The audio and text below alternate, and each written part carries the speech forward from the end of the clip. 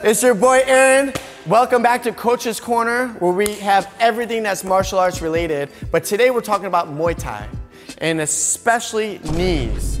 So I had this guy back in Chicago. He was a Thai coach. He taught me so much about clinching, about kneeing, about how to knee the heavy bag. So today I want to show you a couple tips on how you can get stronger, more efficient knees. Let's get right onto the heavy bag and get into it, shall we?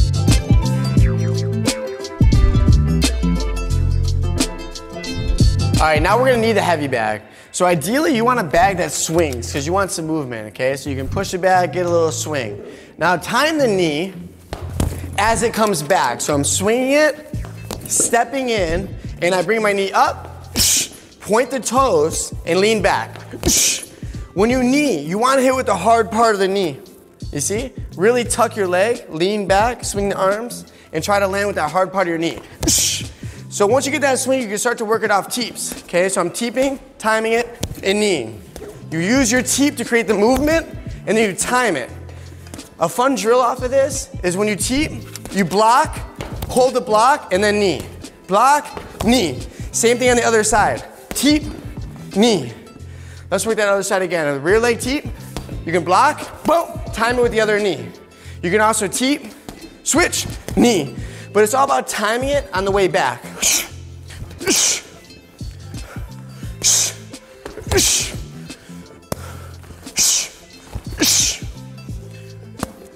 That's the beginner way to knee the heavy bag. You need to create movement, time it, then knee.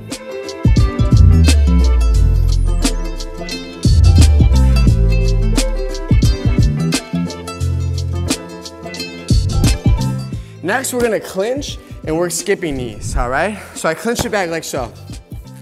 The first motion is finding this little pendulum footwork movement. One foot's on the ground, one foot's off.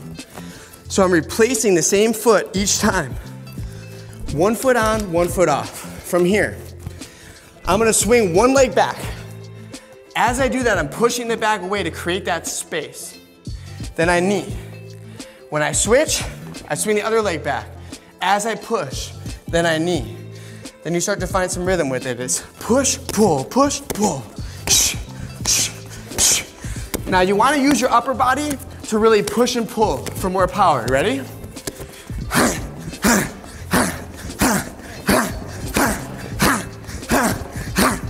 One thing you want to really focus on is swinging this leg back.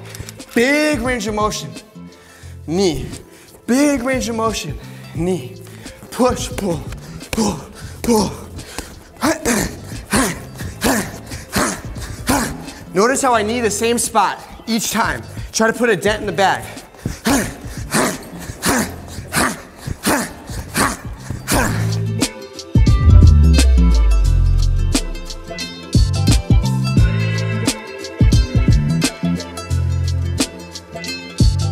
When I trained and fought in Thailand, a big part of our routine, a big part of our conditioning is skipping knees. Bah, bah, bah, bah. Shoot for about 200 at a time. If it's too much at first, just one knee at a time. Boom, find the skip. One knee, boom, find the skip. But try to make it part of your regimen because this is really good for your heart and for conditioning your body. 200 skipping knees per session. I wanna show you one more thing on the bag. It's how to use round knees on the back. All right, so this was a straight knee. Now we're gonna work round knees coming around. Okay, so I bring my leg up at 90 degree angle. So like a butterfly, boom, knee. You can hit with the, the thigh, or you can try to turn over and hit with the knee. It's gonna do more damage. Let's see if we can do it off that same skip. One foot on, one foot off. I bring one leg out, boom, round knee. Boom, round knee. Boom, boom.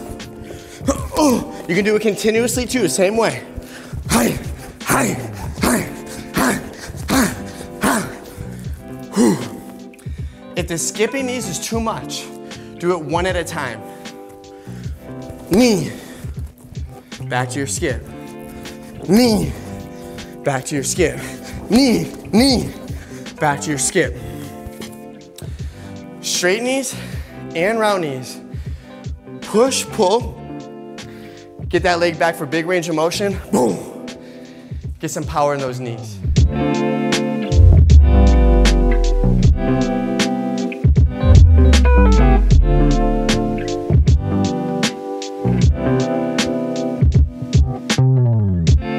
All right, let's get back in the ring and tie this thing up. Nice work.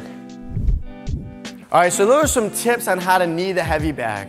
Remember, you need a big range of motion with that leg, and you need to use your upper body to pull as you need.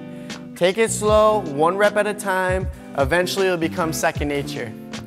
One thing a coach told me once is, now you're conscious of the technique, you do it 10,000 times, then you'll be competent. So practice, practice, practice. Let me know in the comments below what you want to learn. I'm here for you, as always. Thank you for letting me corner you. Us.